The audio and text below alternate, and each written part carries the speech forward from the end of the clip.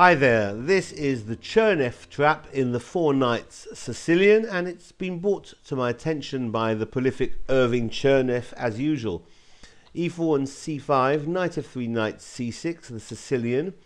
c takes d4 and knight takes d4, knight f6 and knight c3. So after e6, white has many choices available.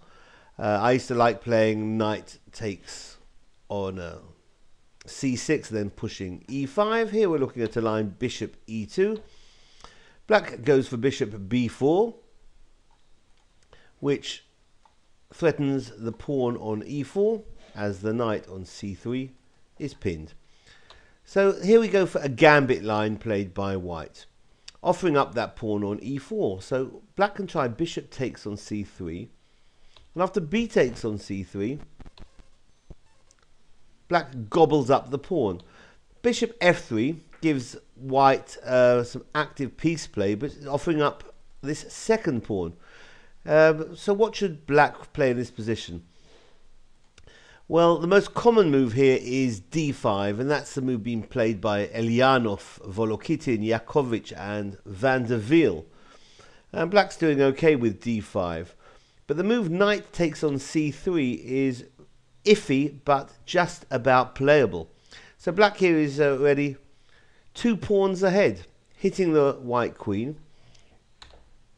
But queen d3 hits the knight, and now the knight's going to have to move, or does it? Well, not really. Queen f6 would be black's best option here, because if uh, queen takes on c3, if the white queen takes on c3, then white's knight on d4 is also hanging. So queen f6 gives black chances in this position.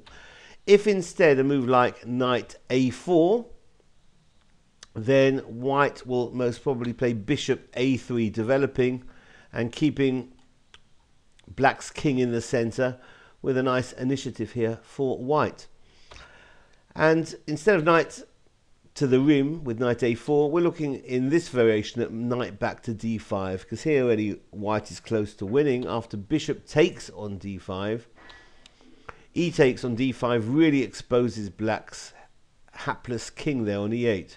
Rook e1 is going to send the king back, to, or send the king to f8. And now knight f5.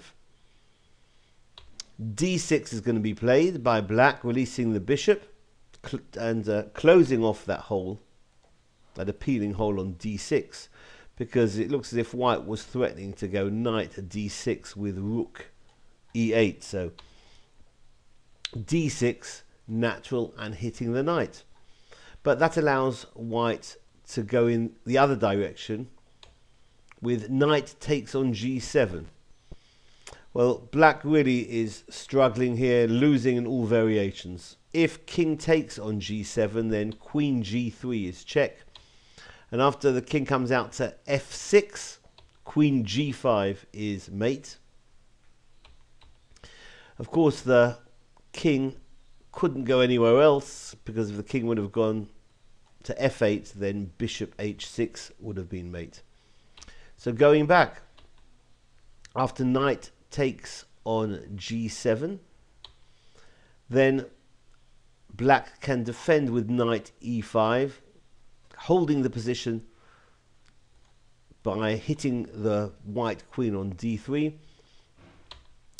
But this is a nice uh, combination by white here, giving up the queen on d3. No need to move the queen. No, knight h5, not altogether obvious move, because if now knight takes on d3, then white is winning with bishop h6 check, king g8, and uh, a number of ways to win. Knight f6 or rook e8, check, forcing queen takes the rook, but knight f6 is quite a delightful mate. So going back, and after black's played knight e5 and white plays knight h5, giving up the queen, black can't take the queen, so might try bishop e6 but white will be winning after now the exchange sack. Rook takes on e5, getting rid of that pesky knight.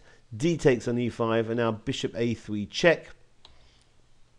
Sending the king back into the center with king e8 and queen b5 now is winning because if queen d7, then knight to f6 picks up the queen with a, a fork.